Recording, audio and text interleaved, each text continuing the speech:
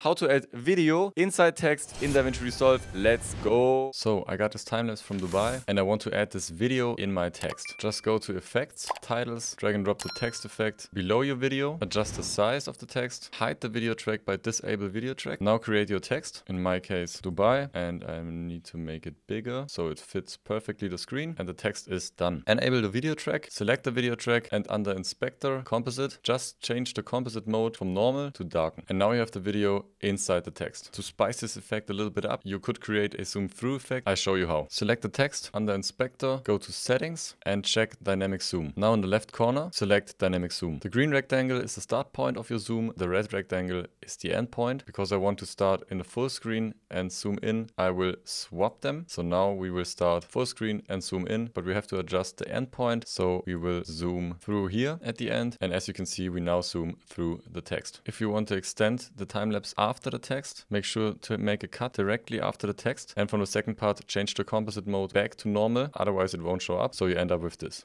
Oh, thanks for watching. See you on the next one. Like and follow if you want to learn video editing fast.